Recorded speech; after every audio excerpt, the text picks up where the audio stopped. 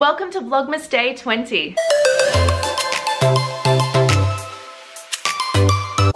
Everyone, how's it going and welcome back to my channel. For those of you who haven't met me yet, hi, my name is Kat. I do a lot of lifestyle and travel vlogging and theatre content here on YouTube, including tips, reviews and reactions. And if that's something that you like, hit that subscribe button, click the notification bell so that you can see more videos coming your way. So a few days ago, we hit 1,000 subscribers on this channel and I am still so shocked and so happy that this has actually happened before the end of the year. And I just want to say again, thank you so much to everyone who subscribed and who's still watching my reactions and all my videos and my vlogs. And as a celebration, I put on the community tab of my channel a post saying that I was going to do a Q&A to celebrate hitting 1,000 subscribers. So here is that video answering those questions. So this is my first Q&A, so I have no clue how this is gonna go, but I'm gonna give my best shot. So let's not waste any more time. Let's get to the first question. Who is your favorite Encanto character? Congratulations, kisses from Brazil. Oh, thank you. Thank you, kisses back.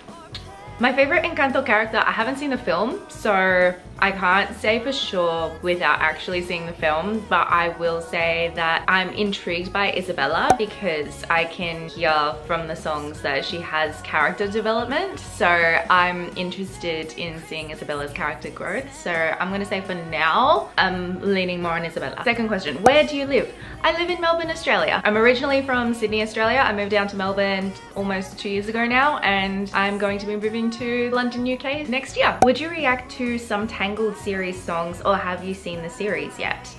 I actually haven't seen the Tangled series. That's really bad. I'm such a Disney fan and such a Disney nerd and I haven't actually seen the Tangled series yet. I will say that I have listened to some of the songs because during the course we had Disney Week where we had to bring in Disney songs and a few girls actually brought in songs from the Tangled series. So I have listened to the songs. I actually really liked them and I made a memo to watch the Tangled series but I didn't actually end up watching it. So that might be something I will do in the future, I might actually react to some Tangled series. So we'll see how we go. Next question. Will YouTube be a permanent job for you in the future? And after these Vlogmas Day videos are over, will you continue to post daily? By the way, congratulations. I hope you have an amazing YouTube journey and much success in the future. Thank you. I don't think YouTube will ever be a permanent, permanent job for me. I know that there's some YouTubers who are dying to have YouTube just be their sole job and their sole focus of incoming, all that comes with it, like sponsors and affiliate marketing and everything. I don't think it will ever be permanent permanent because I just love theatre so much. I really want to do theatre professionally and that would probably be my main source of income but I would love to continue doing YouTube like part-time because I just have too much fun filming and editing and I really just want to look back at my vlogs and my videos and smile and when the years come and I grow I want to see my growth and I want to see how far I've come in life like I'm going to film myself moving next year and taking holidays. So I would love to look back on all these as memories as well. I think it's definitely going to be a permanent fixture. Will it be taking over full time? Probably not. Second part of the question was, will I continue to post daily?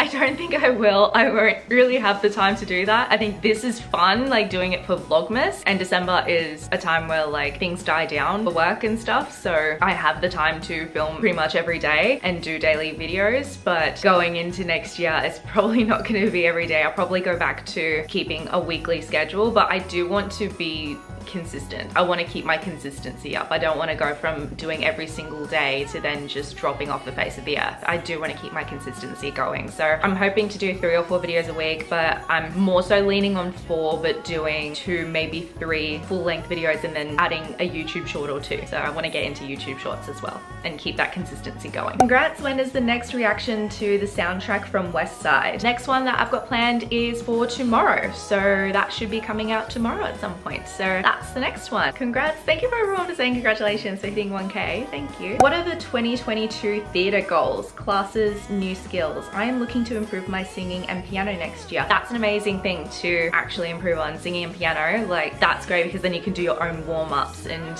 singing is always great to improve on, but if you work on your piano, you can do your warm-ups. I think for me, I definitely want to keep up my dance classes and my singing classes and hopefully some acting in there. There's alumni classes at Associated Studios Australia that are hopefully going to be happening that I really want to be a part of so I can keep my training going. I think that's the main thing that I want to do is keep my training up until I go and continue studying further. I guess main skills I'm looking at are, I think I really want to improve my piano as well because I would like to do my own warm-ups as well and be better at my scales. And I'd say flexibility for dance and I guess for acting I just want to continue my range and getting more monologues under my belt and singing just strengthening my belt and my in my kind of legit voice, kind of operatic legit voice as well. Okay, next question. First of all, congratulations sis, thank you. If you can live as a Disney character, which character will it be? Oh no.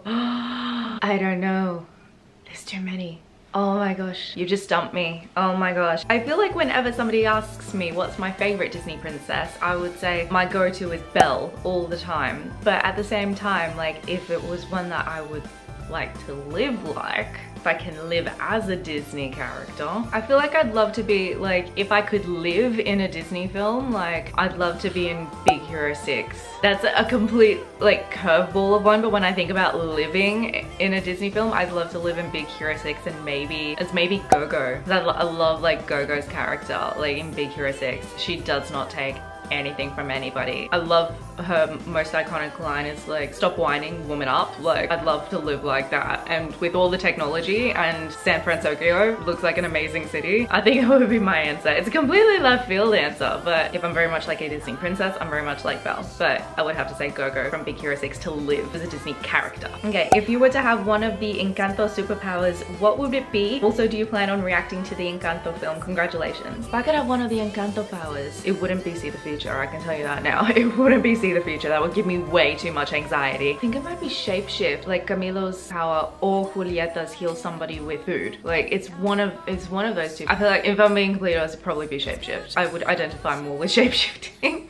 I think it would be so cool to shapeshift. So I think I, I think I would take Camilo's power for shapeshifting. And also do plan on reacting to the Encanto film. I do plan on reacting to the Encanto film. Main thing is I'm not sure if I'll be able to film the actual film because I need to go to the cinema to see it. If the cinema's empty, I'll go for my life and show some of the clips. But if uh, there's people around, I can really only get away with filming my own reaction to the film, like while I'm sitting there in the cinemas. But I'll definitely be doing a vlog of seeing the film. Definitely. That's definitely happening. Final question. If you can meet and have a complete conversation with one person in history, who would it be and why? Oh, I feel like the most obvious answer I could give would be Lin-Manuel Miranda, but in all honesty, I would probably pick Julie Andrews. I would love to sit down and like go to high tea with Julie Andrews and have a good conversation with her. Reason for that being is that she's an absolute queen and she has so much experience in theatre, in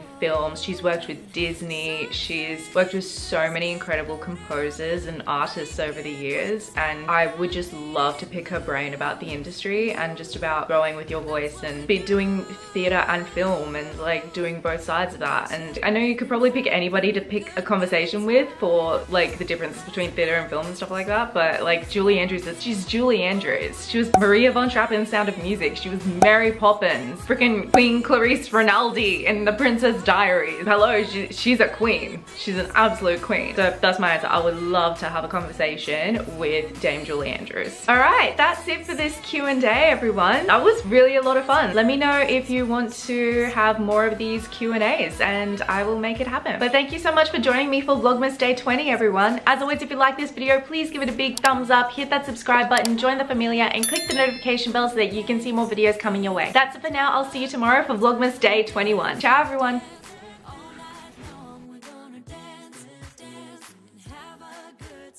Santa's gonna come and join us in this song.